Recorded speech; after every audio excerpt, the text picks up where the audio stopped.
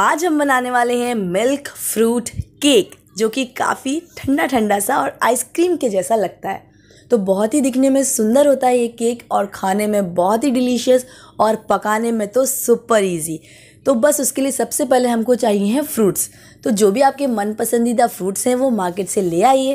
तो सबसे पहले मैंने लिया मैंगो, जो सबका फेवरेट होता है। और साथ ही लिया मैंने कीवी। और इन फ्रूट्स को हमको दो शेप्स में काटना है। पहले तो हमको लंबा लंबा स्लाइस कर लेना है नॉर्मल जैसा काटते हैं और कुछ हमको गोल गोल काटना है। तो जो गोल गोल काटना है, वो हम ऊपर सजाने वाले हैं और जो अंदर हम डालेंगे, वो होंगे नॉर्मल स्लाइस जो पीसेस हम काट रहे हैं। तो देखें इस तरीके से गोल गोल काट लेना है। मैंने ऑरेंज लिया है मैंगो लिया है, कीवी ली है, आलू बुखारा लिया है और साथ ही लिया है मैंने काला वाला अंगूर। तो आप भी यही सारे फ्रूट्स ले लें और अगर कुछ और पसंद है ड्रैगन फ्रूट और समथिंग एल्स तो आप वो फ्रूट्स भी ले सकते हैं। उनको दो तरीके से अलग अलग काटना है। ये देखिए, मैंने सब काट के रख लिए हैं। आलू बुखारे को भी दो तरीके से काटा है। गोल गोल अलग काटा है और स्लाइस अलग किया है। तो जितने भी फ्रूट्स आप ले रहे हैं, सबको इस तरीके से आपको काट लेना है। बहुत ही अच्छे से, पहले से तैयारी कर लेना है फ्रूट्स काट के। उसके बाद एक बढ़िया सा पॉट लें जिसमें आपको ये सब केक बनाना है। तो अगर आप जिसमें केक बनाते हैं, वही वाला टिन ले लेते हैं तो ज़्यादा अच्छा है। उसी शेप का आपका केक बनेगा।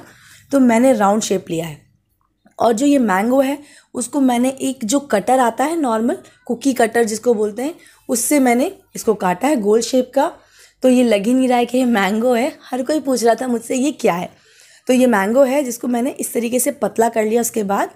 और मैंने चार पाँच स्लाइस गोल गोल काटी है मैंगो की, और लंबी वाली स्लाइस भी काटी है। तो सारा कुछ मेरा प्रिपरेशन हो चुका है। अब मैं एक पॉट लेने वाली हूँ, जिसमें मैं अपना केक बनाने वाली हूँ। तो देखिए, इस तरीके से पहले उसको गीला कर लें। पहले पॉट को मैंने गीला किया है। उसके बाद इसमें बहुत आसानी से फ्रूट्स ऐसे चिपक जाते हैं। तो आप भी चिपका लें। सारे फ्रूट्स बड़े सुंदर तरीके से, जैसे आपको पसंद है, आप जमा लें। ये जो बीच में मैंने संतरा रखा है ना, वो सबसे सुंदर दिखता है। तो ये ज़रूर रखें। उसके अगल बगल आपको जैसे अरेंज करना है, जो फ्रूट्स हैं, उस हिसाब से आप अरेंज कर लें। सब सुंदर दिखेंगे कलरफुल होते हैं फ्रूट्स इतने, और खाने में तो जूसी होते ही हैं। अब हमको लेना है दो चम्मच अगर अगर पाउडर उसके साथ हमको आधा लीटर दूध मिलाना है। ये सब चीज़ें ठंडे में ही ठंडा ठंडा ही मिक्स कर लेना है।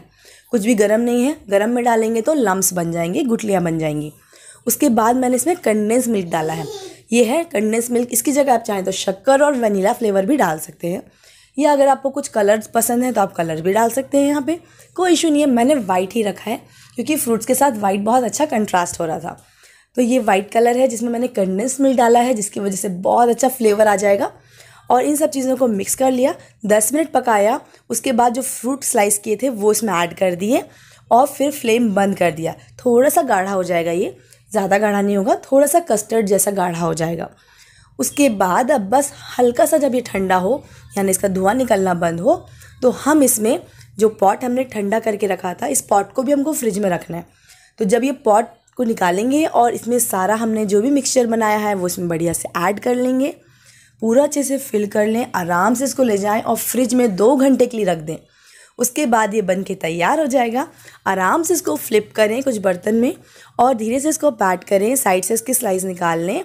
देखें, इस तरीके से ये बहुत अच्छे से बाहर आ जाएगा और देख सकते हैं आप कितना सुंदर दिख रहा है हमारा केक, जो कि एकदम चिल्ड है आइसक्रीम के जैसा लगता है और इतना टेस्टी होता है, इतना जूसी होता है कि सारी मिठाइयाँ फेल हैं इसके आगे। तो ये ऐसा केक आप ज़रूर बना के देखें। अगर वीडियो पसंद आ रहा है तो लाइक शेयर सब्सक्राइब ज़रूर करें।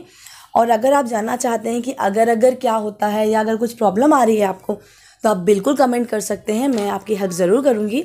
और अगर अगर अगर की जगह आप चाइना ग्रास यूज़ करना चाहते हैं तो उससे भी ये रेसिपी बन सकती है। लाइक करें शेयर करें सब्सक्राइब ज़रूर करें। Thank you for watching